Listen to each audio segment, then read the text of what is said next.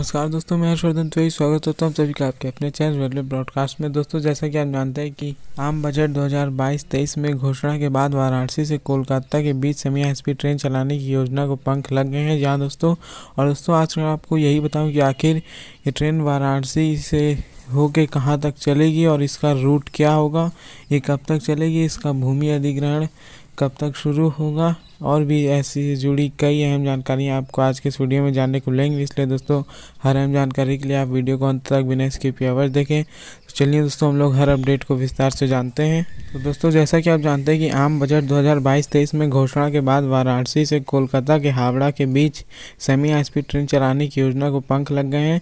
दोस्तों, चार वर्ष पूर्व बनारस के मड़ुआडी स्टेशन से हावड़ा तक वंदे भारत एक्सप्रेस ट्रेन चलाने की कवायद शुरू हो गई थी। और तो इस संदर्भ में पूर्वोत्तर रेलवे वाराणसी प्रशासन की ओर से एक प्रस्ताव हेडक्वार्टर भेजा गया था और उस दौरान अपरिहार्य कारणों से इस दिशा में कोई निर्णय नहीं लिया जा सका था। हालाँकि दोस्तों, आम बजट में 400 सेमी हाई स्पीड ट्रेन तीन वर्षों के अंदर तैयार करने की घोषणा के बाद वाराणसी हावड़ा वंदे भारत एक्सप्रेस की योजना पाइपलाइन से जल्द ही बाहर निकलेगी। दोस्तों, विभागीय सूत्रों के अनुसार बनारस स्टेशन से गोरखपुर को भी एक सेमी हाई स्पीड ट्रेन चलाने का प्रस्ताव है। दोस्तों, गौरतलब है कि 15 अगस्त को स्वतंत्रता दिवस समारोह के दौरान प्रधानमंत्री ने 75 सप्ताह में 75 वंदे भारत एक्सप्रेस चलाने का ऐलान किया था। वहीं गत 23 सितंबर को वाराणसी के दौरे पर आए रेल मंत्री अश्विनी वैष्णव ने भी वंदे भारत एक्सप्रेस में कोच निर्माण के बाबर टेंडर जारी करने की बात कही थी। और दोस्तों आज रेल बजट में घोषित चार सौ वंदे भारत एक्सप्रेस आधुनिक फीचरों से लैस होगी। इससे यात्रियों के सफ़र को सुविधाजनक बनाया जाएगा। दोस्तों, रेलवे के राय रायबरेली समेत विभिन्न आईसीएफ कोच फैक्ट्री में कोच को तैयार किया जाएगा और सो अप्रैल 2022 में ट्रायल रन कराया जाएगा।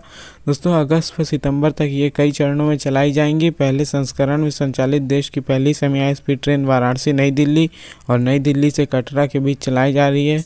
तो दोस्तों, यही थी वाराणसी से चलाई जाने वाली नई समय हाई स्पीड ट्रेन परियोजना की से जुड़ी लेटेस्ट अपडेट आपको ये अपडेट कैसे लगे वीडियो कमेंट सेक्शन में कमेंट करके आज बताएगा और भी ऐसे वीडियोस के लिए चैनल को सब्सक्राइब करें। मिलते हैं आपसे अगले वीडियो में। तब तक के जय हिंद, जय भारत, वंदे मातरम।